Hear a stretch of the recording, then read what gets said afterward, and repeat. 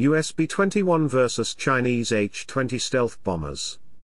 China's H-20 stealth bomber is expected to introduce an entirely new sphere of threat dynamics to the US, as it further cements China's nuclear triad and massively extends its nuclear attack range to include major portions of the continental US.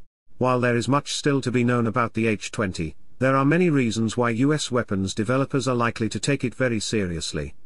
For instance, if the H-20 can extend its range beyond the first island chain off the coast of China, then it could not only hold the Philippines, Japan and areas of the South China Sea at risk, but also threaten Guam, a U.S. territory.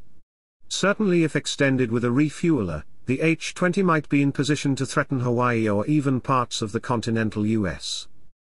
The Pentagon's China Military Power Report, Report said China's new H-20 long-range stealth bomber would potentially introduce paradigm-changing threats as it is expected to operate with an 8,500 km range.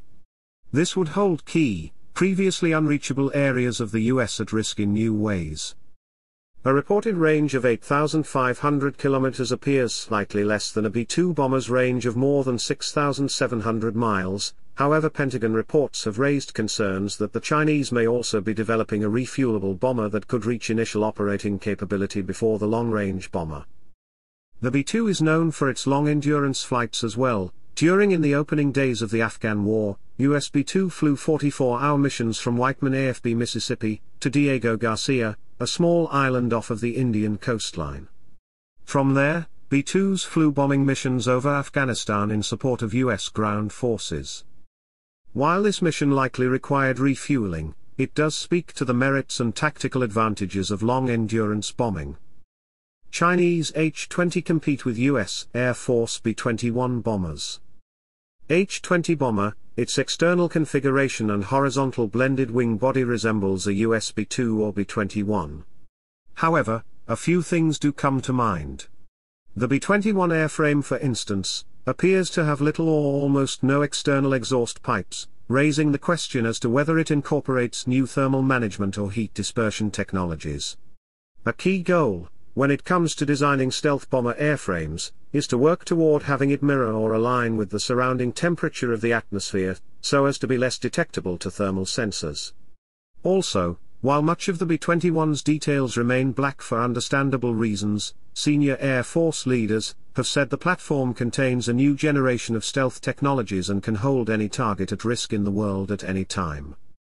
This indicates that there may be a high measure of confidence that the new B-21 will be able to succeed against the most advanced current and anticipated future air defense systems. Air Force officials say the B-21 will be virtually undetectable, something which may very well be true. Finally, it may not even be clear that China's new H-20 bomber could even fully rival the US B-2. While the B-2 may be thought of as a somewhat antiquated 1980s built platform, years of Air Force upgrades have vastly changed the performance parameters of the airplane.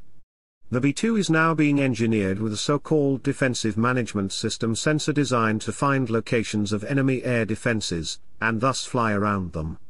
Finally, much like what is reported about the both the B-21 and H-20 are engineered to carry and fire long-range nuclear and conventional cruise missiles, such as the Air Force's emerging long-range standoff weapon. Thank you for watching please like, share, comment, and subscribe.